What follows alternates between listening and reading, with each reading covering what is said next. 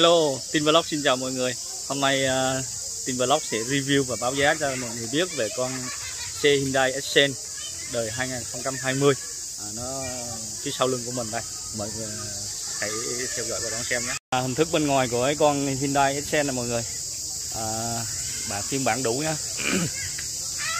à, mới lên gang xe ben đây là cái hình thức bên ngoài mình sẽ đi xung quanh cho mọi người xem rồi sau đó mình sẽ giới thiệu về những chi tiết cho mọi người thấy cái con Hyundai Accent này về những cái công năng à, về tính năng ưu việt của con Hyundai Accent này. Đấy đây là à, khung cảnh toàn bộ bên à, ngoài của con xe Hyundai Accent mọi người. À, 2020 nhá. Đó vừa rồi là mình đã đi xung quanh về cái con Hyundai Accent. Bây giờ mình sẽ giới thiệu phía trước này về cái cửa chắn gió này và cái lưới tỏa nhiệt này được ờ, chạy đường viền là chrome về đèn thì nó được lắp một cái hệ thống đèn bi chạy như hai bên. À, cứ nổ máy lên là ban ngày nó chạy sáng. Đó.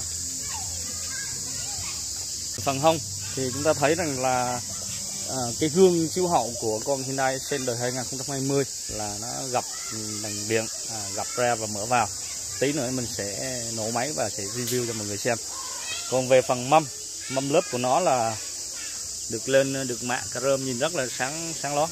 Về cái cửa tay thì cũng mạ về inox, nhưng mà mình lắp thêm cái phần inox này cho nó nó dễ ấy. Đó. cửa đóng vào rất là bụp bụp. Đó. đây là nắp xanh.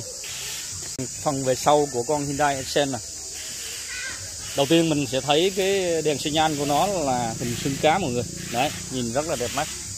Sau đó là chúng ta nhìn thấy rõ hơn là à, cái cái đuôi cái gió là bằng cái quay cá mập chứ không phải là cần anten mọi người ha. Đó là vừa rồi mình đã giới thiệu xong toàn bộ về xung quanh cái con Hyundai Accent. Bây giờ mình sẽ giới thiệu bên trong. Tiến hành là bắt đầu mở cửa vào bên trong mọi người. Đấy. À, bên trong khi chúng ta ngồi lên. Thì chúng ta sẽ đờ máy lên là thấy các cái đồng hồ báo. À, bên đây là cái mã lực à, km và cái báo xanh. Còn đây là màn hình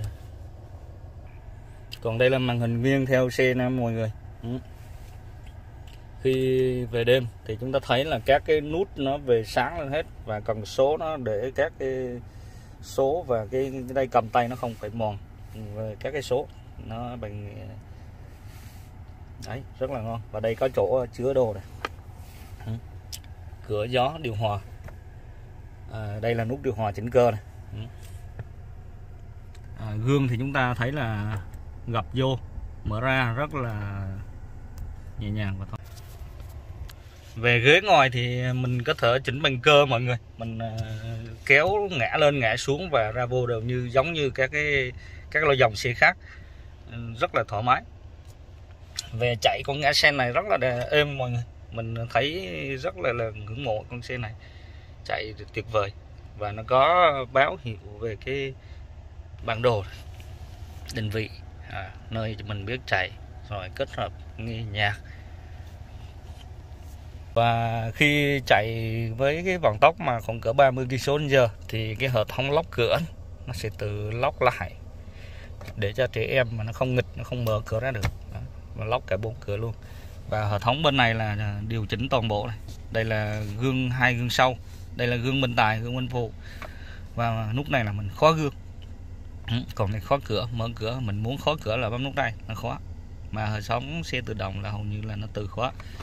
Ừ, nút tròn này là chỉnh gương phải gương trái lên xuống.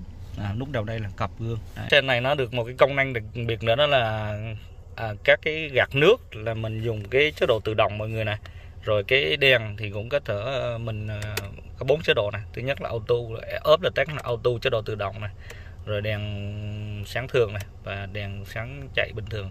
Đấy mình bật chế độ tự động là khi mà cái gặp cái đối tượng đi trên đường á thì nó sẽ cúp xuống bật cốt mà khi chạy với cái đoạn đường trống thì nó sẽ là bật pha lên mọi người. Cái, cái tính năng đặc biệt của nó không vậy. Còn cái đây gạt nước không vậy. Mình cũng bật đang bật chế độ tự động. Khi mà gặp mưa gió thì à, nó sẽ tự quay. À, nó tự sẽ tự gạt nước qua lại. Khi gặp cái cái cái, cái, cái kính mà nó tự mờ nó sẽ tự cảm biến. Và đây là cái miếng cảm biến đó này.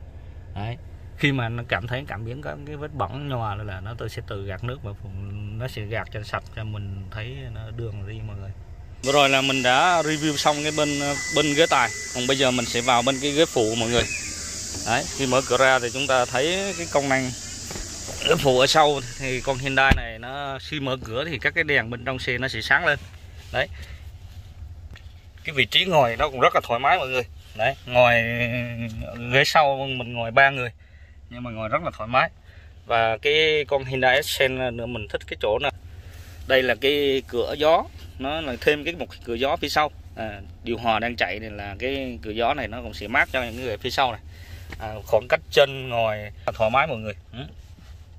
tựa rất là vô tư. Đấy.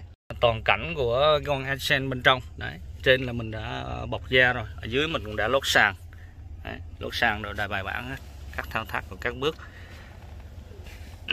Accent đời 2020 mọi người vừa rồi là tin vlog đã review xong cái con Hyundai Accent đời 2020 phiên bản đủ. À, à, với cái, những cái công năng và những cái chạy trên đường và cái mình còn nhiều cái công năng mà mình chưa nói nữa. Trong đó có cái công năng là công bằng điện tử.